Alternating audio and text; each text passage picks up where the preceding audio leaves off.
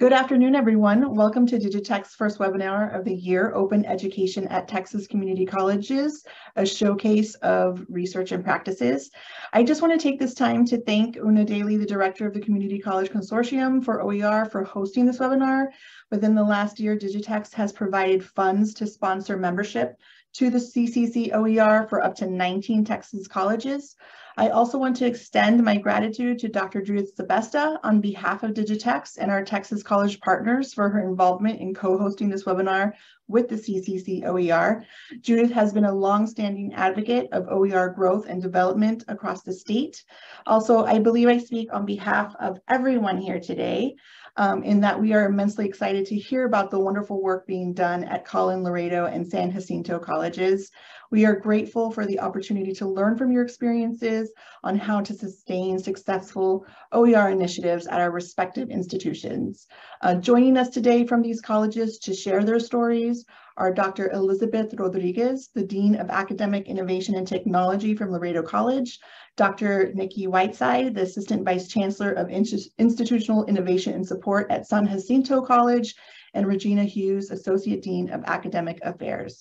Um, again, just as a reminder, we're going to be recording this webinar and we will be making it available through our Digitex YouTube channel. And lastly, we will be sharing the presentation slide deck via email after our webinar. Una and Judith, I'll let you take the lead from here. Thank you, Denise. And I'm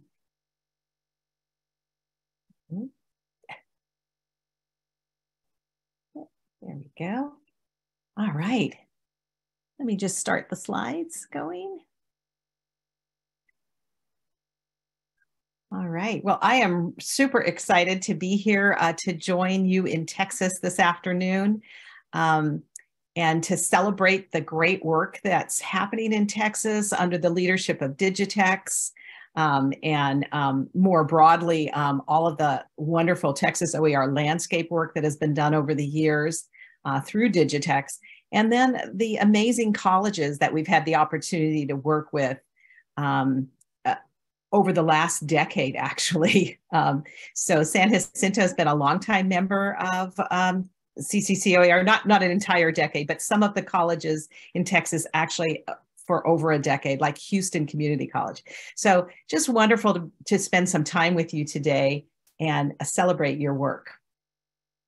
Um, and so um, I am, uh, Denise has introduced me, of course, um, but I want to give um, everybody else a chance to just say hello. Um, and uh, once again, I'm Una Daly, and I'll pass it over to Judith, who, and then um, our actual presenters. Oh, thank you so much, Una. And yes, I am Judith Sebesta, and I am honored to serve as the president of the Executive Council for CCC OER. Regina, let me turn it over to you. I'm Regina Hughes, and I'm thrilled to be here, and I look forward to sharing our story with you all. So, um, it was I was talking earlier to to Denise and Elizabeth um, and Una, I believe, or Judith, uh, and asked to prepare in response to the questions. Um, I was actually a little bit surprised about the work we have done. Honestly, I've never really looked at our work here at Collin College um, in the way that this um, webinar has allowed me to look. And so I'm, I'm pleased to share our story. So to give you a little bit of a background about who we are, we're located in the North Texas area. So we're Plano, McKinney, um, Frisco. And so just think of North Texas and we're in that area. About 56,000 plus students annually, 11 campuses, and about 100 plus programs of study, three bachelor's degree, working on our fourth bachelor's degree. Um, so what motivated us to adopt OER? Like many of you, um, we've been hearing about the high cost of textbooks for a long time. And um, so I would say that for us, OER has uh, was born from the perfect storm. So not only did we hear from student groups at least 15 years ago that actually presented in front of our board of trustees saying, what are you guys doing about the high cost of textbooks? So there's that, right? That energy. Then we had some very vocal board members who were saying, okay, what are you guys doing about the high cost of textbooks? And I was teaching at the time. And then I knew myself in looking that, you know, these textbook prices are going up. So what are we going to do? So probably in early 2012, I started looking at alter alternatives. Um, I had taught psychology full time. And one of the things I first noticed is there was, it was difficult to find something, right? And then I heard about, oh, this little organization called OpenStax, who was basically just getting off the ground. Um, at the time, they didn't have anything in psychology, and I landed on something called NOBA. I was thrilled about this OER. I started talking to my colleagues about it. And then right about 2018, I, I landed the job that I have now as associate dean. So I never did get to integrate it. Um, so I continued and, in my role sharing all of these things about OER with my faculty and in my psychology uh, colleagues. And then in 2018, we responded as an institution and created a no cost, low cost exploratory committee. And we had two phases. And because I was very interested and had been vocal, I was invited to be part of that. And then later on, after phase one, which was really the exploratory phase, I was asked to lead phase two, which was now taking recommendations from phase one and really integrating them. And so I began uh, doing research initially, calling peer institutions.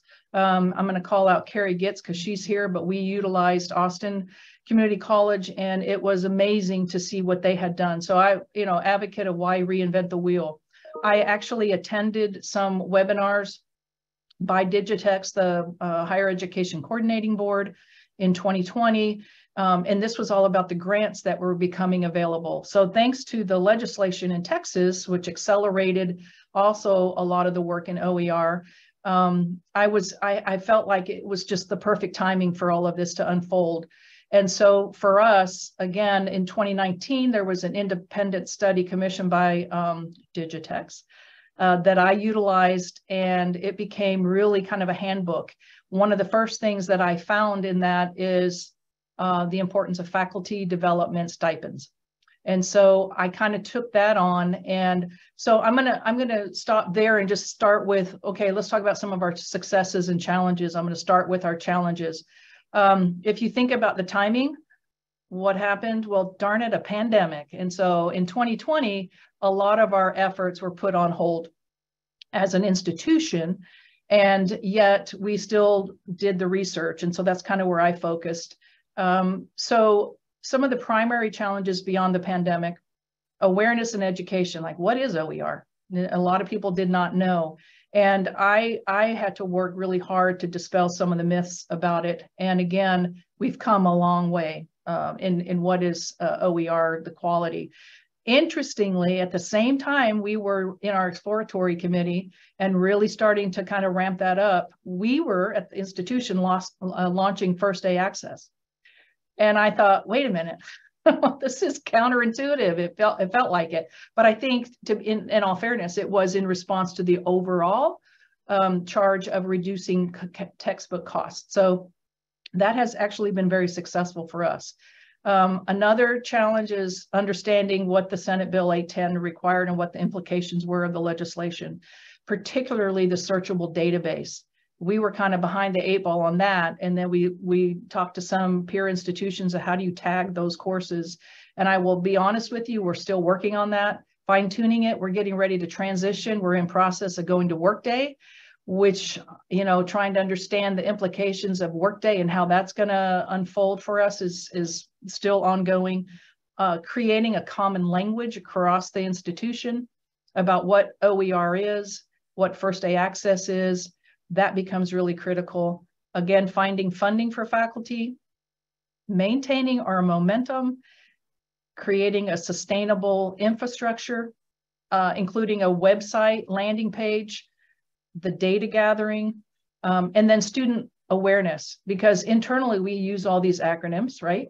But our students don't know what OER is. Even if they do a search on it, they may not know what it is. So we're working on that right now. Um, so some of our successes, well, having uh, a strategy for who you place or invite, on, well, sometimes it's place, right? The voluntold placement on the membership. So we have an OER steering committee that we continue to expand. It includes our librarians. We have academic leadership, including our provost, one of our provosts, We have, uh, luckily, I knew our grants director very well and had many conversations with her early on. And the beauty of that is that she is so sold on OER that when grant opportunities come in, she is calling me and saying, Hey, Regina, here's a grant. And, you know, having her at that point and be my eyes, that has been critical for us. Um, instructional designers, uh, faculty, of course, and then internal IT folks. Other successes. We don't have a full-on zero or Z degree, but because the banking, I have workforce programs, the banking program here came into my leadership two years ago. I talked a lot about OER with my faculty members, and so I can success. I, I'm very happy to say that nine of the courses in the banking program outside of the core classes all have been converted as of this semester, I believe fully to OER, which is if you were to add up the cost for apparently banking classes are very expensive, the books, um, that's a $1,700 savings for our students just in that one group of classes, nine classes. Um, we have added what we refer to as an attribute, and we use Banner in our learning management system. So students can look for that attribute and they're able to search to see which courses are OER. Um, we are about, I'm going to say over 100 faculty and over 25 disciplines using OER. Uh, we have the, as I said, librarians were, are on our steering committee and they have taken on a whole life of their own. Whenever I hear stuff about libraries, I've gotten some stuff from SPARC, et cetera, and I have sent it on to them and said, hey, how about you take these classes? You know, um, so they have created a LibGuide, which is sort of our landing page, um, and we're still working on that. They they actually offered on their own, created a whole series, a cafe series on OER this semester. And I, I again, that's the beauty of it. We aren't centralized.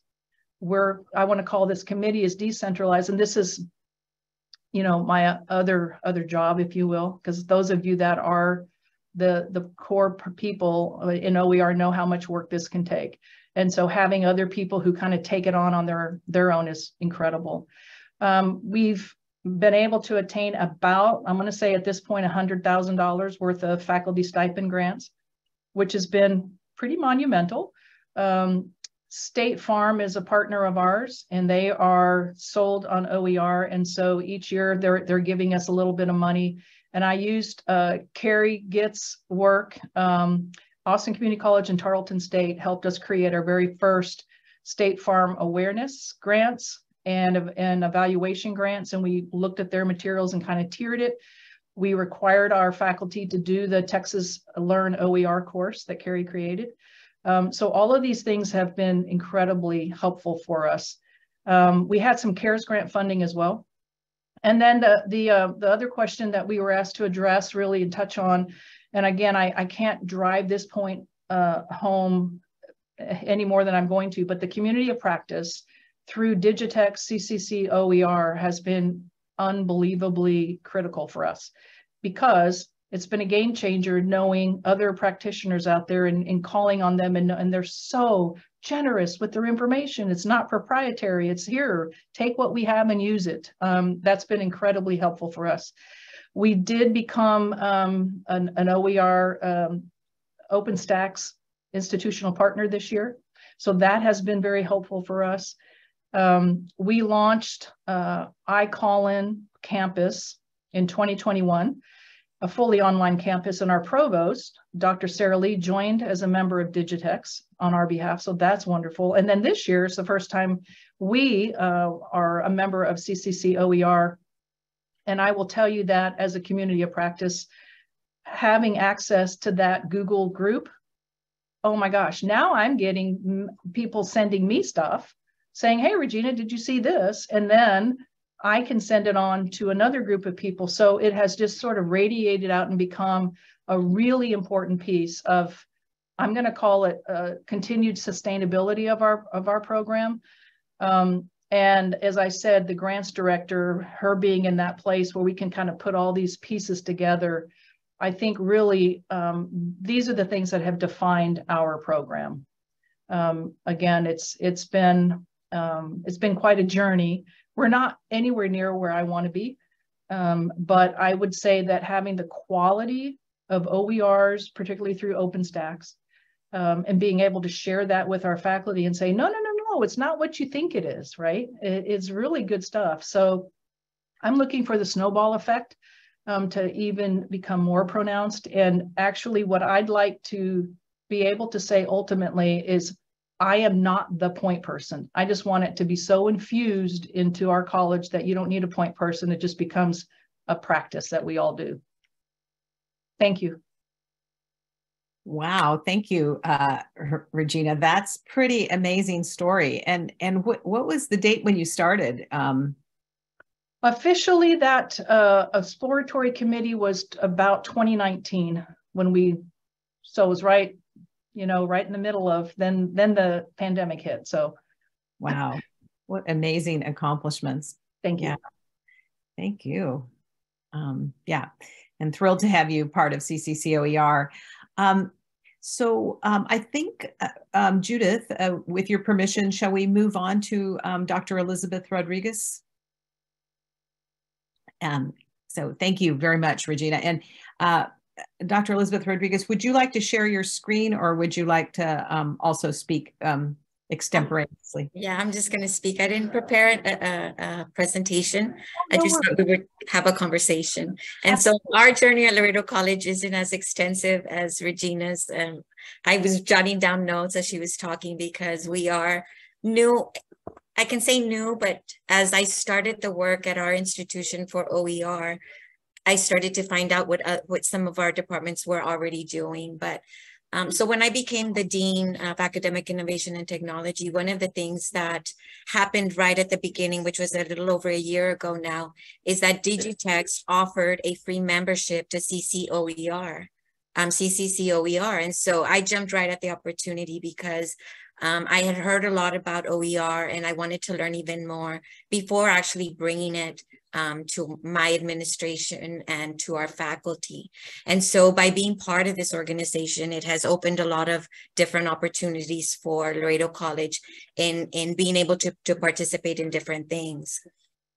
So one of the first things that I did when we became members of CCOER, we also got the opportunity to um, do a it was kind of like a leadership program with arlo and so i at that point i said you know what? I need a committee. And i reached out to our folks who are, are who are part of our center of teaching excellence and learning. I reached out to our librarians and I reached out to our um, instructional design team to see who wanted to be part of of that. Well i kind of didn't ask i just kind of told them they were going to be part of the of the of the committee. And through that process again we were also able to learn a lot about oer one of our lead faculty members at um at when we did that program he was completely against OER and he is also our faculty senate president. And so I needed to find a way to have him jump on board because if I wanted to move this anywhere at, at our institution, I needed that support. And so once he was able to go through that program, he also got to travel to, I think it was Boston at the time, to the to the conference for Arlo.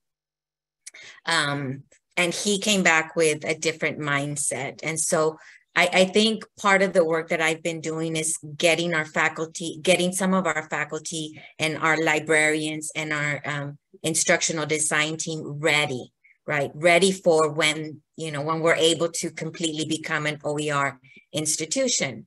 And so while we were doing that work, um, we, Laredo College had implemented the all-inclusive program a few years ago um, when that happened, I was not part of those conversations. And about, I want to say about a semester or about a semester ago, they gave it to my office to kind of take over. And as I took over that all inclusive program, I was, I started seeing a lot of problems with it. Um, I know that it is the cost savings to students, but I also, and one of the things that I learned through Arlo, and I think it was Karen who said it, and, and I jotted that down because um, she said that the all-inclusive was like a smokescreen, right? Because publishers know that OER is gaining momentum. And at some point, you know, all, all the institutions are going to become, you know, OER institutions and where, where are they going to be left in the process, right? And so the all-inclusive program was kind of their way to say, hey, you know, we're, we're giving students a, a, a discount but I started seeing a lot of different problems and I won't get into all of them. But um, one of the conversations I had with my provost is like, if, if you weigh the, if you weigh how much students save to all of the problems that OE, that all inclusive um, has, you know, that, that, that outweighs what the student savings is, right? Because do they really have access on day one? Um, is the process you know, streamlined through the publishers and our LMS and our faculty. And so there was a lot of problems and um, our administration just made the, the decision to do away with the all-inclusive program at Laredo College starting fall 2023. And so then that that leaves me with okay well we're, we're what are we going to do now right? Um, so that's when i started you know what? This is our opportunity. This is our opportunity to really allow oer to gain momentum at laredo college. You know we've got our committee in place um, I've worked on, you know, our faculty um, guidelines to help faculty understand because that's part of the problem too that faculty don't really understand. Is it, you know, content that has been vetted? Has it has it been peer reviewed? Um, and so they have a lot of questions. And so I think this is the opportunity for Laredo College to really embrace OER and and move towards that movement. Um, but as we're doing all this work, I come to find out that our English department um, four years ago decided to be an OER department. And so um, as of this coming summer, there all of the courses offered in our English department are open educational resources courses. Um, our bachelor's in organizational leadership is also an OER um, program. And so even though we still have a lot of work to do, we've already started doing some of that work. We have resources on campus that we can, you know, turn to.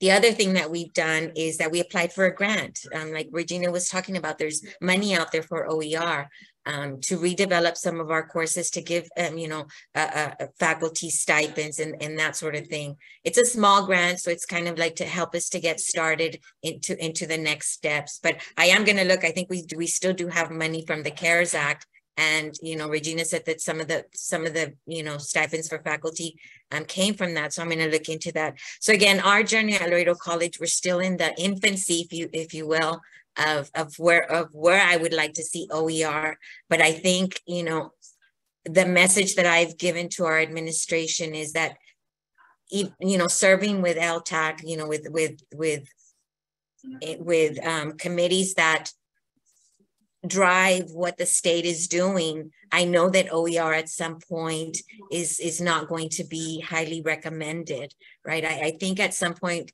we need to get ready to really um, because i feel that some at some point it's going to come down from the state for us to to to take OER a little bit more seriously than we have been.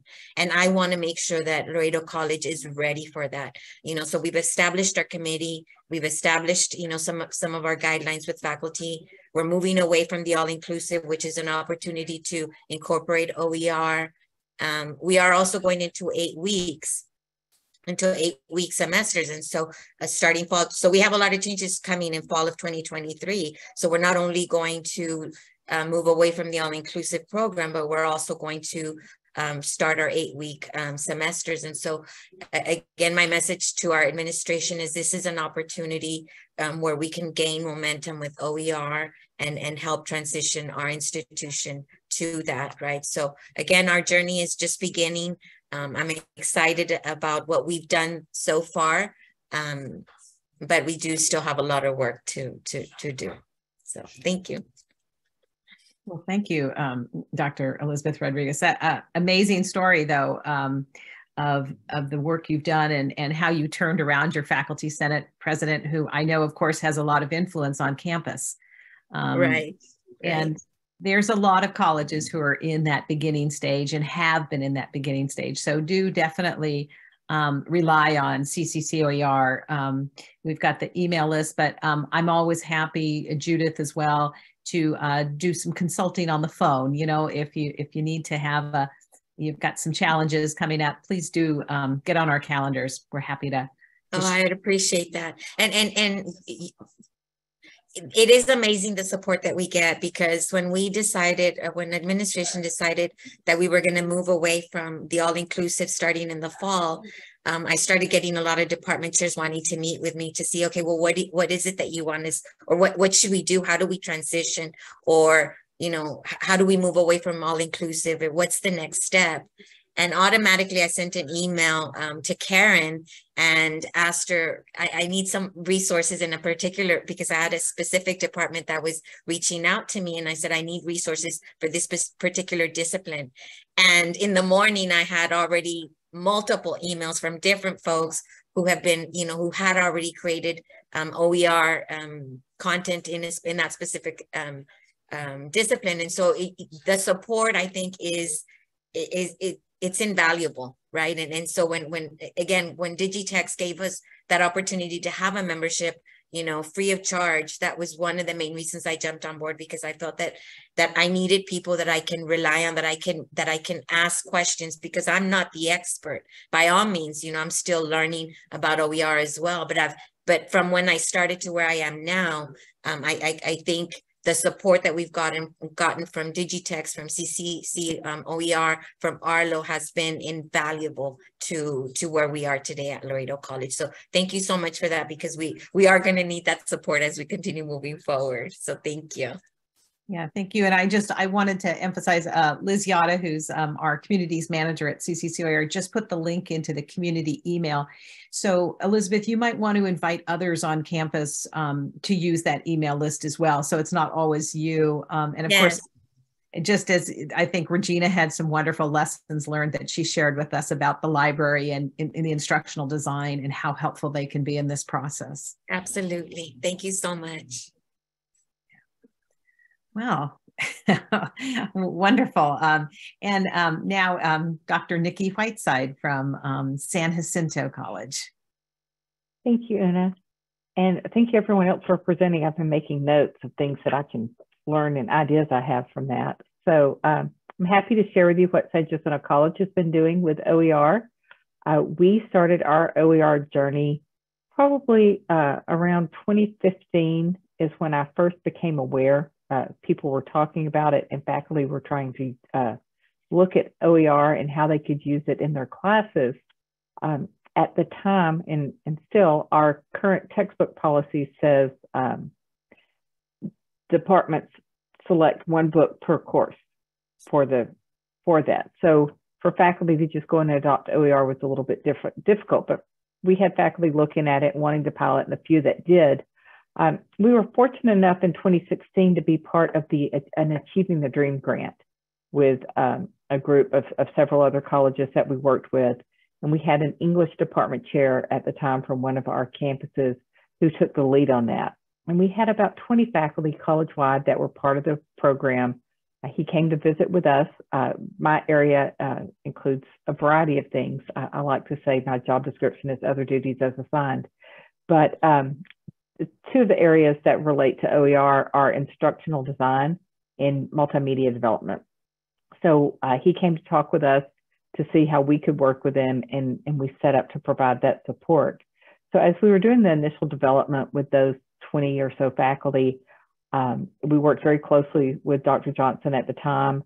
I really was focused on helping faculty to create, curate, review content. We had people doing different pieces and then use it in their classroom so they could uh, be as as involved involved as much or as little as they wanted to at the time to to get to use it. And we brought librarians in to help curate resources to provide that support. One of the things we saw very early on uh, with the first faculty that we're going to teach is this is a different way of teaching with this. It's, it's not the same as taking that book that you're used to having and walking in the class and saying, okay, everybody open to page 23 because digital OER content doesn't always work that exactly that same way. So um, that was one of the things we figured out early on, you know, we needed to work with faculty, we needed to help them understand, and we were going to need to help students understand too. So that became a piece as to how we got involved. Um, and it, as it turned out, uh, we offered our first classes in spring of 2017. And then after a year, uh, Dr. Johnson left to take an opportunity at another institution out of state. And our deputy chancellor contacted me and said, Have I got a deal for you? Um, and OER became something that became under my purview. This was about the same time as uh, Liz mentioned, we started looking at inclusive access at the college and how we could do that. So we focused and combined everything together into an affordable learning initiative, really to make sure faculty were understanding here are the different options for students, here are the cost savings for students, here's how we can help our students have the materials and be successful.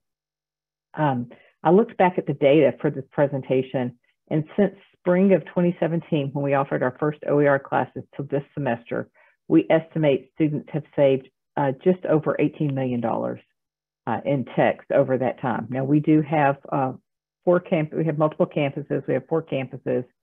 So, uh, you know, we, we have a lot of students, but um, we also, this semester, our research office pulls out now as a daily report the number of enrollments by, not just by campuses, but by um, the course material.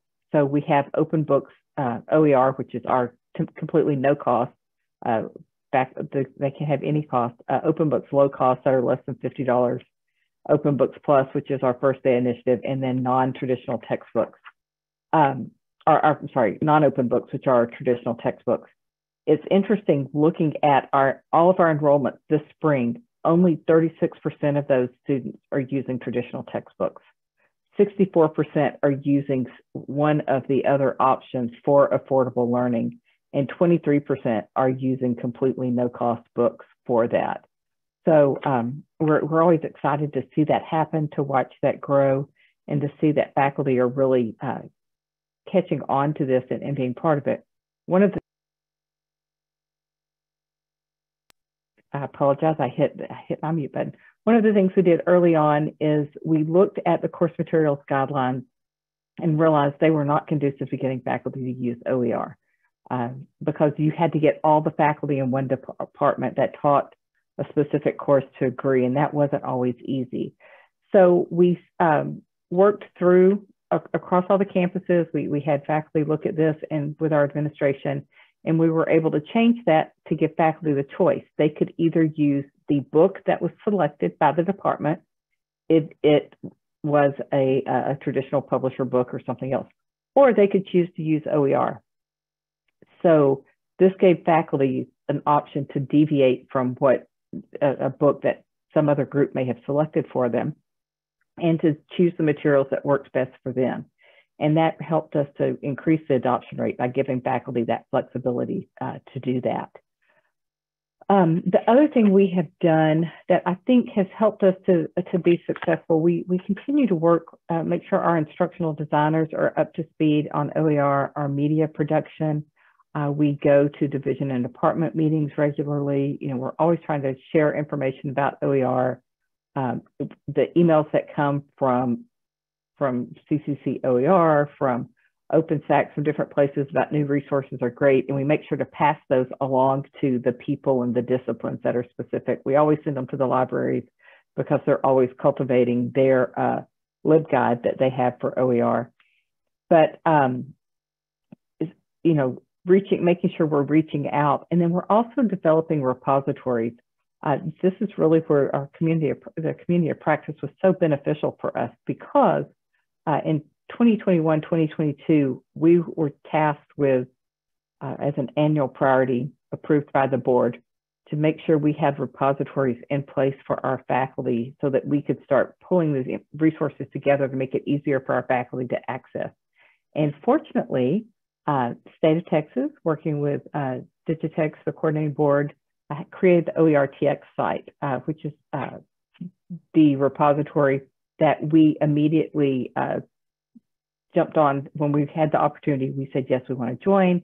We created a portal, started adding content, And then we went a step further to do the integration with uh, OERTX to our learning management system. We actually use Blackboard, but we did the plugin. So one of the things when we train our faculty on how to look up uh, OER content, how to find it, we show them how to tag it, how to set it up, how to make it available, and how to get to it directly from their courses, which makes it easier if they're not having to go out other places to look for it or to find it and come back. So, you know, we've tried to simplify that and streamline that to help them. Uh, also, when we set up our site, uh, if you happen to look on the OERTX site, you, you'll see San Jacinto College has a hub.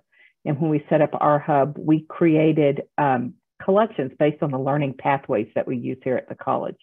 So that way our faculty can very easily go in, they can find things that have been tagged by other users uh, to pull that together.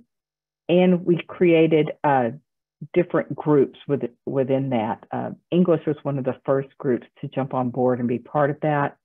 Uh, they were working on a um, grant through the Texas, funded by the Texas Higher Education Coordinating Board, not for an English course, but for a humanities course.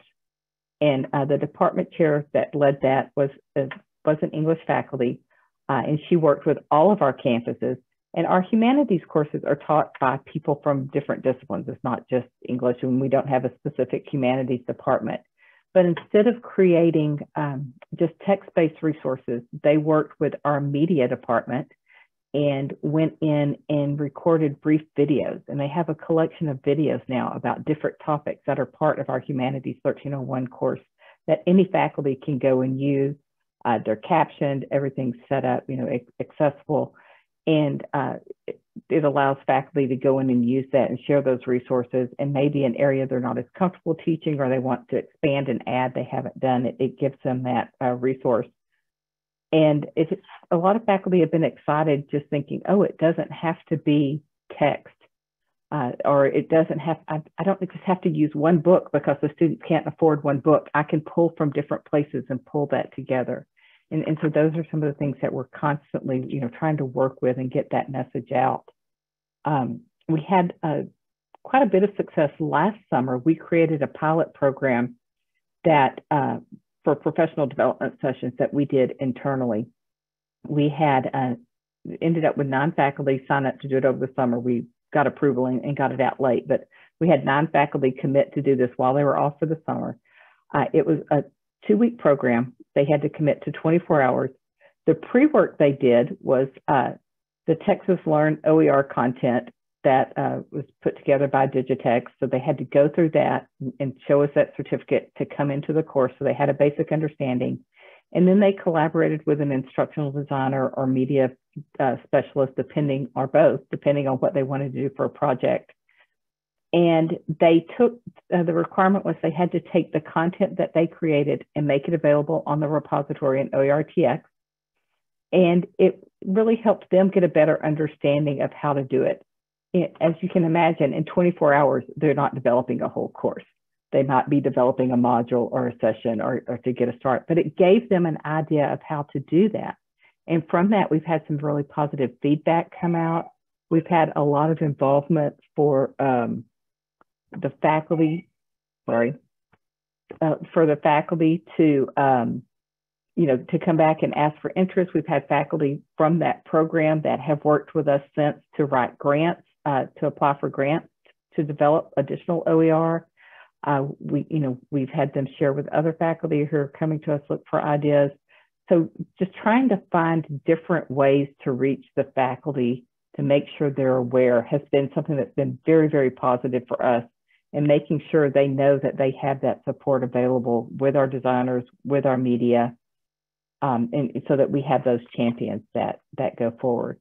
Uh, one of the things we don't have that I noticed both Regina and Liz mentioned, um, we don't currently have a steering committee for OER. We've had that in the past.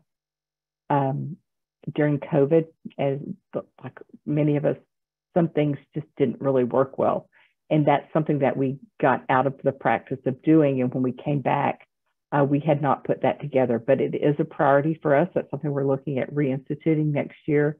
Even though we have good involvement, we want to find a way to reach out to faculty uh, to do more and, and to get the word out. And, and I think that's the biggest challenge for us with a number of faculty, both full and part-time, how do you get that word out? So uh, we're, we're just trying to take every avenue we can to do that. Oh, wonderful! Thank you, thank you, Nikki, and um, thank you, Carrie, for sharing the uh, the uh, OER hub uh, and uh, the one specifically for San Jacinto. Uh, that's really impressive. Um, and at this point, uh, wow! I just um, I know Judith and I are just like amazing. Um, we we didn't realize all of the great work that's being done at your individual colleges, and um, Judith, would you like to move into the Q&A at this point? And maybe we'll save five minutes at the end for um, our, our sort of concluding slides. Yes, although did I, I had prepared um, some information about research, about the Texas landscape studies, as well as another resource. But if you'd rather I just go ahead and go to the Q&A, I will. Um, it's it's up to you, Judith. If you um, we had some slides as well. Um, I don't know. Are there questions pending? um, in the um, in the chat window? No, but if you want to go ahead with the with the Q and A, I've got a question I would love to ask our um, our speakers from the Texas community colleges. Just incredible information, as Una said, and I, you know, all three of you mentioned data, and I just was wondering if you might be willing to talk just a little bit more about the importance of data to your open educational resource resource programs, um, how you're collecting and gathering these data, what your strategies might be, if any, and, and where you're looking to go in your data collection. I'll jump in. Uh, I mentioned that our research office, we brought them in very early on uh, to collect data um, as part of the Achieving the Dream grant, and we've tried to, to continue uh, with that data. Um, we regularly uh, actually, if I don't send it by uh, a certain point in the semester, the chancellor reaches out, her office asks, where's the data on the savings? What are we doing for our students? How is this working? So we're regularly updating the estimated savings for our students. Um, we uh, daily are looking at where students have enrolled by different semester that just goes to all of our instructional administrators uh, so that we can see where the growth is. And it's not just uh, the current semester, it's the comparison to like spring 2023 is compared to spring 2022. So we can see where things are growing. And I'm always very excited to see um, non-open books going down and, and our open books going up because I know that's helping our students. Uh, and then one of the things we're going to be doing with the data over the summer, we're going to uh, looking at the A to C success data for our students for uh, specifically OER content classes uh, by course material and by um, mo instructional modality. And we're going to identify some department chairs to sit with us and work through and come up with some guidelines of how um, how the departments might look at this data, really evaluate, make sure that the uh, you know they they have the best materials, what and and what's working, and, and really kind of kind of dig down into how the materials are working for the students and, and that's something we're going to be piloting over the summer. You know, Nikki, I think I suspect because of San Jacinto being on the vanguard of getting funding through ATD for their open education work, you were probably um, on the vanguard again in terms of data collection because for better or worse, sometimes we feel you usually have to do that kind of data collection for reporting to a funder, be they federal, be they state. Right they private. So and um, yes, because since we had that data already, we met. I met with a research office very early on when I was given the opportunity to to head up our open books and said we're already collecting it. Let's not stop. It, keep running those programs every day and those uh, you know data programs. So we've been able to keep that data and we have it back to about 2017. Oh wow, that that's fantastic. And Regina and Elizabeth, if you had anything you wanted to add to that. Yeah, well, I, um, Oh, go ahead, Elizabeth. Okay, so uh, mine will be really brief. um, so part of our committee, um, our associate VP of institutional research is is a member of our committee, and although we've not done any um, studies on, for example, our English department who's already gone completely OER. One of the things that we wrote into the grant that we applied for was to show that before and after success points, you know, to see how students um, did after um, OER uh, adoption was, was done through a particular course. So again, we're still in the infancy stages of, of the work that we're doing. Um, but definitely because we feel that data speaks volumes, um, it was important to have somebody from our institutional research as part of that committee to help us interpret that data. And so, um, although we don't have a lot to go on yet, and I'm sure if I go back and you know, because like I said, I am getting a lot of different ideas, especially because our movement has kind of taken, uh, you know, an escalate, like we're, we really have to get something um, going. I think showing um, data or having data to show um, as we move into, uh, into more um, conversations about OER is going to be significant. Um, so yeah, we, we don't have anything yet, but I know that um, we can gather that data from our English department. And that has been part of our conversations with the committee to be able to have data to show our faculty. I wasn't anticipating that we would do away or that we would move away with uh, uh from all inclusive so quickly. And so we were still, again, you know, making sure to have everything in place before we got to that point. Unfortunately, now I'm, I, I feel like I'm doing a, catch up game, but um, data is significant, and that's why we included her as part of, of our committee. It sure seems so crucial to have that IR or IE person a part of that committee and baking them into that work. I think that's very insightful, Elizabeth. Regina. Thank you. Yes, you know, I think uh, my answer is going to, I'll try to make it succinct, but it really depends on who the audience is, right? So the board, I, I shared with you early on that our board was, you know, spurned on by students saying, okay, why are, why are the textbooks so high? So there's an accountability, right? And the, and the board wants to know, okay, overall, just give us the short and sweet, how much money have you saved our students? That so so gathering that data, you gotta you gotta have all of that together, and that and that's a little bit challenging because you know you got to know who's doing OER. So we make these broad estimates of you know here's what we think based on what the textbook costs have been, and you multiply it by how many you know that kind of a thing, and so you get that broad number. So that appeals to them. For students, they want to know how much are you saving me, right? But but this is where really the rubber meets the road. So we get cost, but it's a but for our faculty, not that they're not sensitive to it because they are, but it's really about the quality. So it goes to Una's question about the outcomes and what Elizabeth talked about. And is there any difference? And, you know, I haven't, I don't know that any of our faculty internally have compared between OER and non-OER, but generally speaking, there's not really any difference from what I'm understanding, right? It doesn't take away um, where we're challenged is to show, okay, you've had the steering committee, what are you guys doing? So I think the the quality is a really important piece, but it's really not. It's really about the quality of the actual peer reviewed. Have you tried this? You know, how good is it? And that becomes something really important. So when you say data, um, it's really about quality of the product itself. And what we're finding for us is when you start talking to faculty, one of the challenges that we face, which this is true for all of OER right now, is when you ask faculty what is it about the particular product they're using, those digital ancillaries become critical because it's a it's a time saver for them. And um, you know, AI is going to bring a whole new nuance into this conversation as we continue.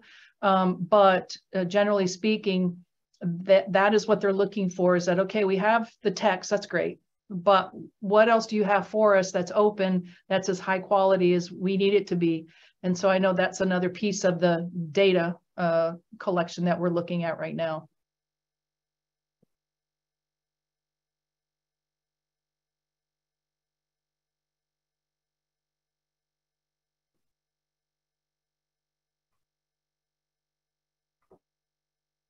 Um, well, we're waiting for more questions from our audience, but um, Judith, if you wanted to speak um, to uh, the research that uh, has been done in uh, Texas, that might be really helpful to support the data outcomes. And I can either move the slides for you. Um, can you just get put it forward to slide 12 if you don't mind?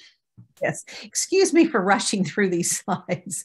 Uh, this uh, I'll come back uh, maybe at the very end and just give you a kind of a little highlight if you weren't at our membership meeting yesterday. And is, is that correct, Judith? Slide yeah, 12. that's great, Una. Thank you so much. And just very quickly, I just wanted to give an overview of these uh, landscape studies that have been done in Texas. As probably many of you aware, the Digital Higher Education Consortium of Texas in 2019 began partnering with the Texas Higher Education Coordinating Board and the Institute for the Study of Knowledge Management and Education, that was all a mouthful, I know, um, to conduct statewide landscape studies on open educational resources with the plan that these would be biennial. And the first one was done in 2019, the second in 2021.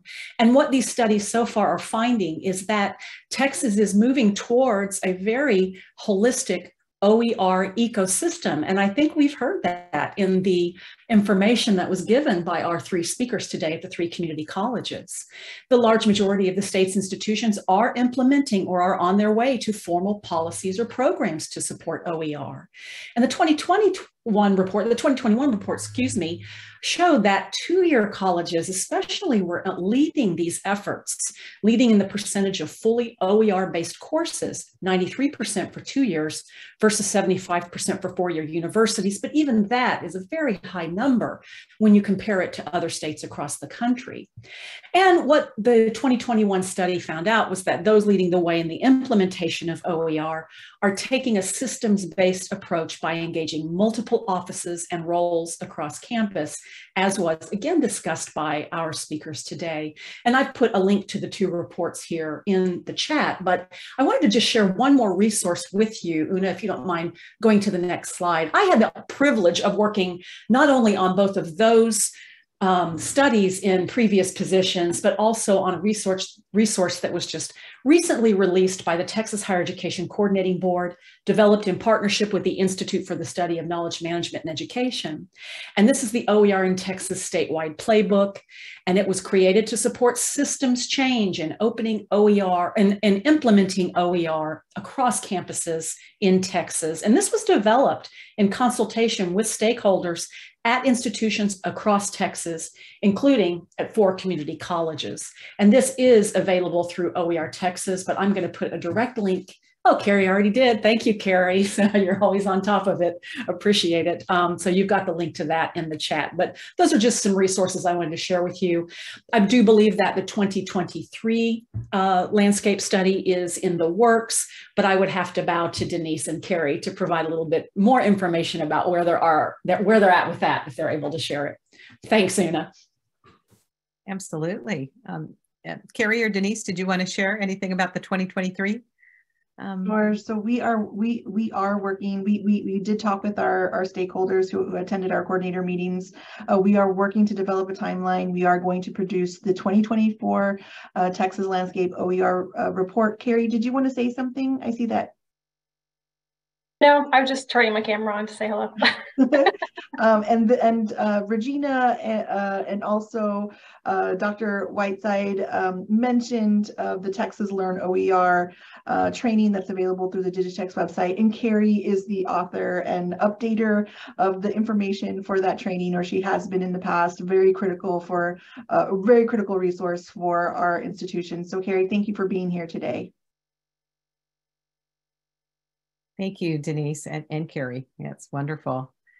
Um, well, still open for questions, but um, while we're waiting for some other questions, I might just put out a few things. Um, this is a little overwhelming, but I, I did want to mention that um, all of you are members, of course, of CCCOER, um, which is part of Open Education Global.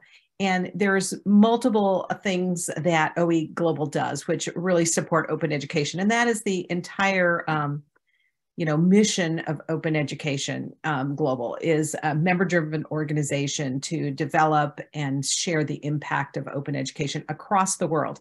So we're located in, uh, I think, six out of, with members in six out of seven continents.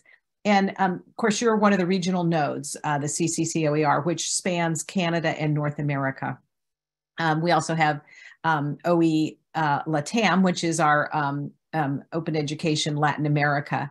Uh, we also have Open Education Week, which just ended um, just a few weeks ago, and I hope many of you were able to participate or, or, or attend some of those wonderful events. And uh, we also have the Open Education Awards, which will open shortly. Uh, the nominations and our Open Education Global Conference. And I'm very quickly going to go through this uh, well, you know about our members. Uh, we're we're across the uh, North American, and once again, a huge thanks to Digitex for the 19 colleges uh, who are now members um, of CCCOER. So uh, wonderful to have you all on board, and don't hesitate to reach out for support. Uh, there's many opportunities to collaborate. Maybe I'll come back another time and talk a little bit about that. Um, Elizabeth mentioned Arlo. Uh, we also do some work in California um, that's California specific around their ZTC degrees and um, around one of the open textbook pilot programs. Um, so OE Week, uh, we had contributions from around the world. Um, I'm, I'm able to see now. Let's see, whoops, my slide. We had 38 countries contributing in 17 languages. So it's truly a global um, uh, annual event for open education and it's um it's we just finished our 11th year um, with more and more participants over 12,000 participants this year I really wanted to mention about the um, the conference that's occurring this year in the fall at Norquest Community College in Edmonton, Canada. And we're very excited. This is the first time um, a community college has hosted one of the Open Education Global Conferences, and there'll be people coming in from around the world to share their work.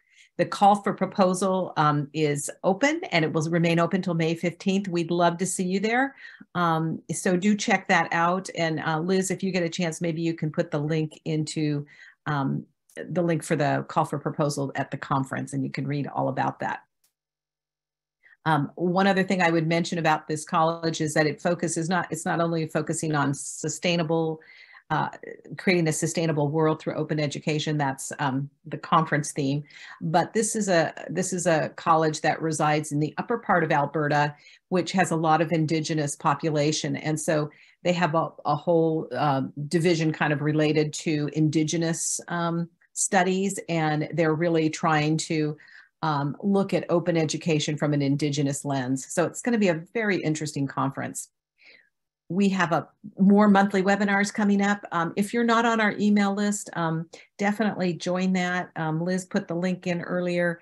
Um, and um, these are open to all of you members. And we love to hear from folks from Texas. So do uh, get in contact with us. Um, there will be an annual survey coming out shortly, and you can share with us what you want to hear about next year and if you'd like to participate. Thank you for that, Liz. Uh, we have a summer equity book club co coming up.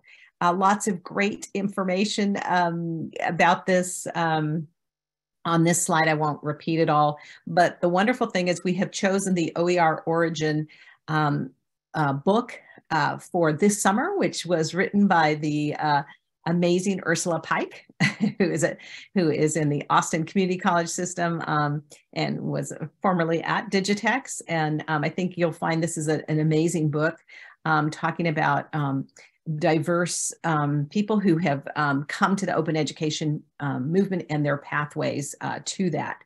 And uh, there's opportunities to just participate. It's every two weeks, live discussions, uh, asynchronous discussions available as well, or, or you could facilitate one of the chapters if you chose to. Um, and so that's all I had to say. Uh, do we have any other questions, Judith? We do, Una. We have one in the chat from Maribel. Um, she says she's fairly new to OER, but she did a pilot. She did a, a, pilot, a course with OER, and she noticed that some material was missing, as well as software for statistical students. And she wanted to know if there was any free OER statistics software available for our students. Oh, well, that's that's a great question, Maribel. And I don't know which OER textbook that you're using. Um, OpenStax, which of course is based right here in Texas at uh, Rice University, they offer. Oh, okay. So they offer um, a number of um, books, but that their Introduction to Statistics book, um, and they have some homework um, options, some um, some online homework systems. They are not free, however, I, but they're very low cost. Um, and is so you're looking for something that's free, Maribel? There is something available that math faculty use, and I know it's been adapted for statistics. It's called MyOpenMath. I'm not a librarian and I'm not a math faculty. Uh, but there definitely are some resources out there, Maribel. And um, uh, if you want to contact me, I can connect you with some people who will actually have more details about this. And Maribel, maybe we can also support you by sending your question out through our email listserv. And um, I know that Carrie's here and maybe she can help us maybe conduct a, a search uh, through the uh, Texas repository as well. Um, but I just want to thank everyone for, for your participation today in this wonderful webinar. It was so wonderful that you all took time out of your day to share your stories and experiences. And um, thank you so much uh, to all of our attendees for participating. And we hope you have a wonderful week. And please continue to go back uh, to uh, Digit our Digitex website and sign up for more webinars. You all have a wonderful, wonderful day. Thank you.